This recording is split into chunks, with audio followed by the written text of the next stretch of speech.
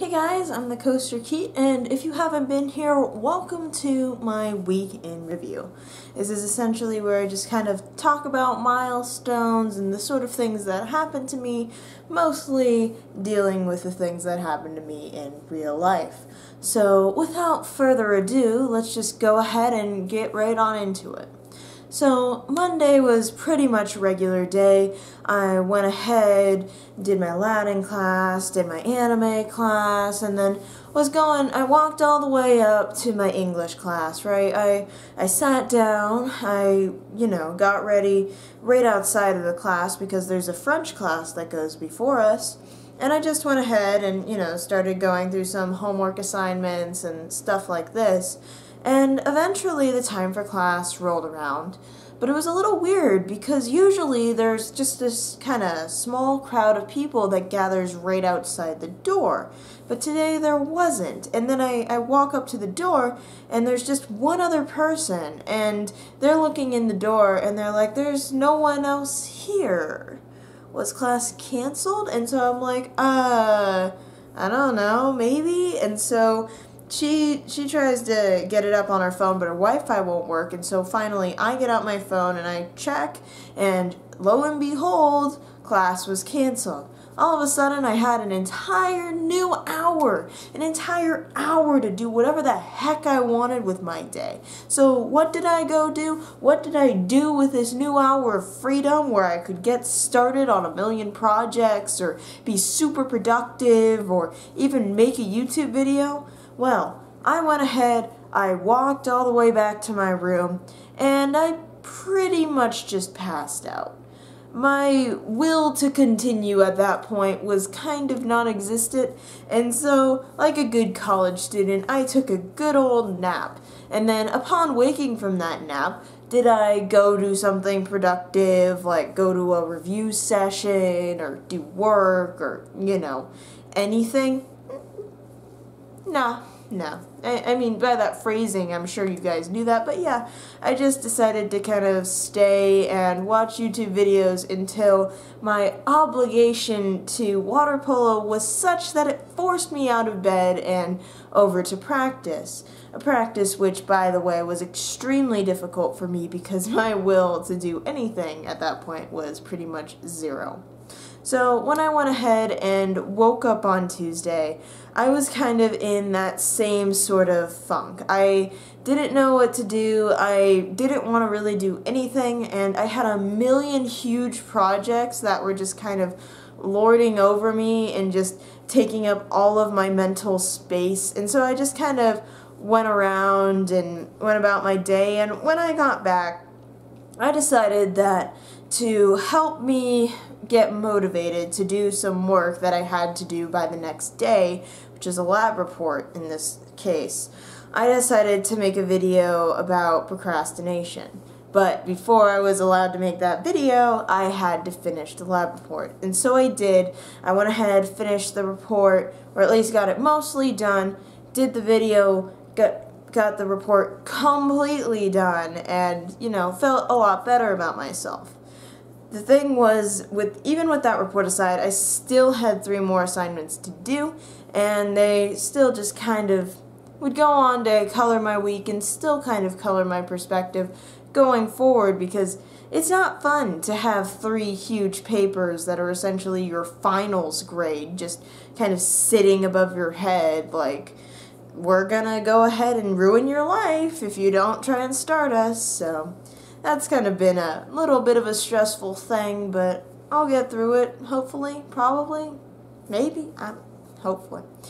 Wednesday didn't really help. It was my long day, and not only was it my long day, but it was the longest lab that I've ever done because me and my partner are usually super fast at labs. Everyone else, it might take the full three hours or whatever, but for us, it would take two. Us and this other group of two were very, very speedy, and we would constantly be like almost racing each other except they don't know we're racing. We just know we're racing. And we would just constantly be going super fast. But this was the first lab where they actually got up and walked out of the room, finished about an hour before we did, which was just kind of heartbreaking. Um, while it did mean that I didn't have to do the swimming portion of the water polo set, it was just also very difficult and very frustrating because the reason we were going slow on the lab was because we didn't really understand any of the directions. Everything was kind of vaguely worded, and we just had to constantly keep asking the teacher to come over and explain it to us because it just did not make any sense to either of us. So then I went, got through that. I got to practice. We practiced, we did everything, and went back home.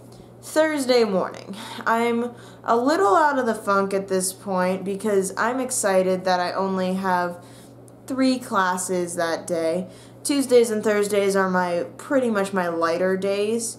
Um, so I went ahead, started going to my classes, and when I got out of my lecture for comparative politics, as I as I'm packing up my stuff and getting ready to leave, um, someone comes up to me. Oh, Thursday was Halloween.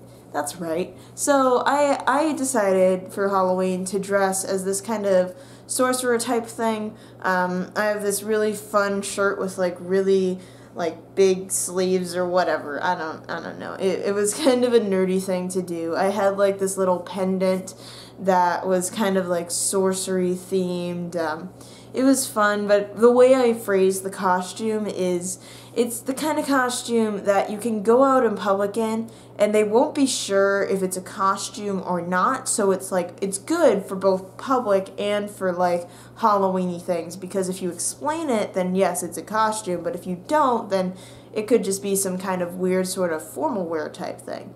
So that was fun. But anyway, I'm sitting here getting up, packing up my stuff in my sorcery costume or whatever. And someone comes up to me and they're like, "Hi, are you Rachel? Um, can you go? Can you like send me my your notes from Tuesday?" And I'm just over here like, I guess word has got around because if you haven't been watching these every single week, first of all, shame on you. How dare you not watch all of my videos? How dare you have a life outside of this?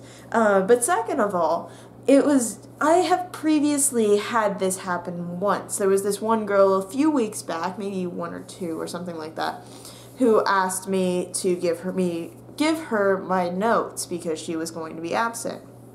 And now this individual came up and she had been absent on Tuesday because of um, allergies, like severe allergies. And so I'm like, huh, I guess I did a pretty good job with those notes because, yeah, more and more people are coming. I should start a business off of this.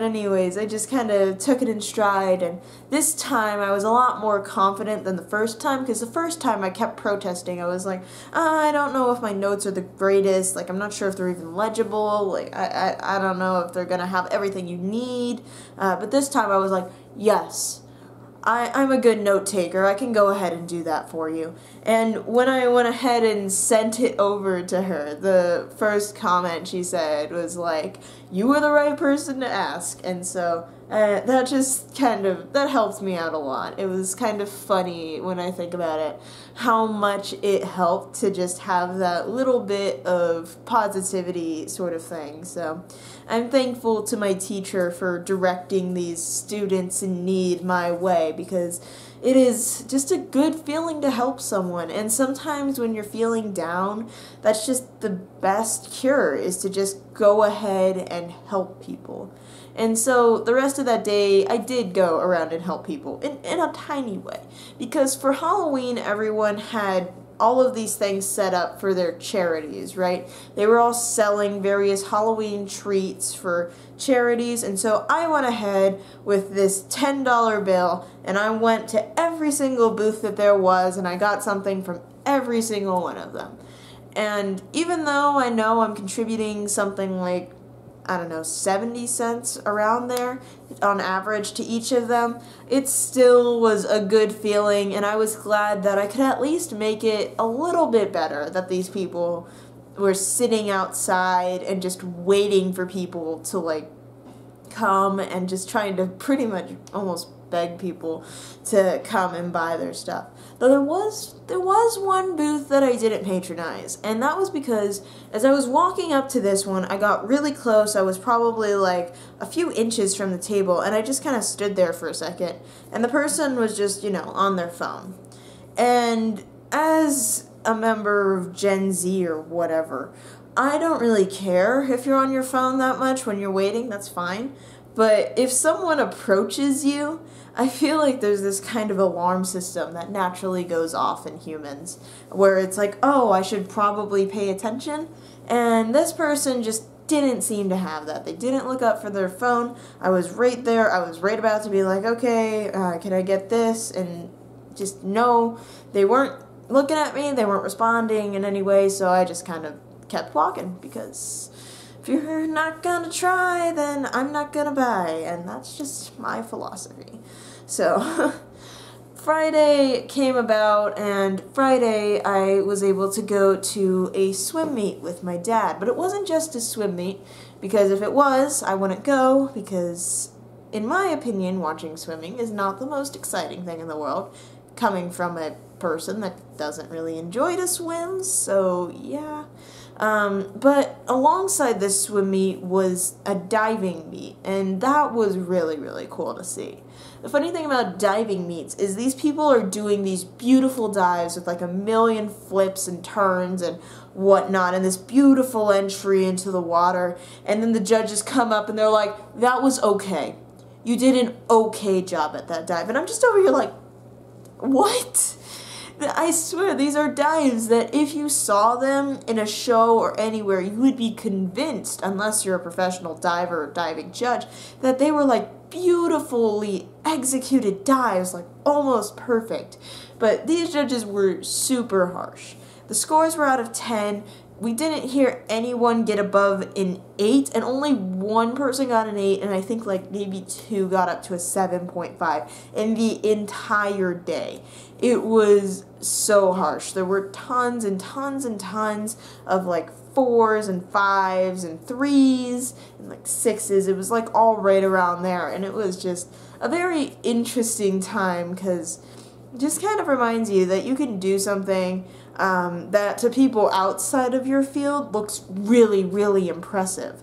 But you know in your heart, and the people inside of your field know in their hearts and in their minds or whatever, that it's just not impressive. But maybe it's a good thing to sometimes step out of that in the mental perspective. Like, instead of just always being in your field, seeing all of your imperfections, just maybe once a week or something like this, go ahead and take a step back and see what what is this in the eyes of someone that's not a professional? What does it look like? How does it look?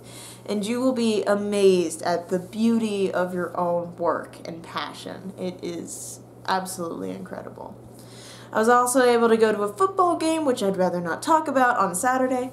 And then today I was able to go to my very first Comic Con. Um, I've never gone to a convention before, so this was really cool. Um, just seeing everyone in all of the costumes was super cool because, you know, you always hear that there's people in costumes at Comic Con, but actually being there and being like, amongst anime characters is just I don't know. It's a really kind of fun experience and cool atmosphere and it's just where everyone around you is a nerd and they all know it and it's just fun. It's just fun to be a nerd among nerds and to be able to be like, "Oh, is that yada yada?" and they're like, "Yes, of course, that is yada yada." And you're like, "Yes." Someone understands. It, it's just it's a really fun thing. So, probably gonna go to more conventions in the future, but that was just great. So, uh, I think that pretty much wraps it up for the week, unless I feel like there might be something I'm forgetting. Ah, that's right. A Heist with Markiplier came out on Wednesday. And I bet all of you know about that thing that happened because that was absolutely huge. upon recording this video, that video has 237 views.